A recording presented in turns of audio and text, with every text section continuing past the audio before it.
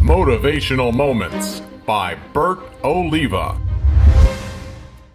Welcome back to another motivational moment. Today, we're taking you to the gym. You ready to work out? You know what pain is, right? Pain is weakness leaving the body. Let's go. Want to ask you a question. If you're doing nine reps, what's the most important one? Number nine or number 10? Obviously, it's number 10, that one that you push harder. Well, I just gave you a little bit, just a little bit of the workout. What's your limit? What's your limit?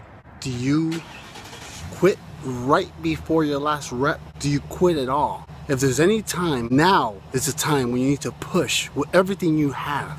You can always give in, you can always give out, but don't ever give up. You know what you have to do. Repost, like, forward, do whatever it is that you do to help me change the lives of over 100 million people in a positive way. My name is Bert Oliva, and remember to live life and don't let life live you. I will see you tomorrow. Stay up to date with all of Bert Oliva's motivational moments by liking his Facebook page. And be sure to follow him on Twitter.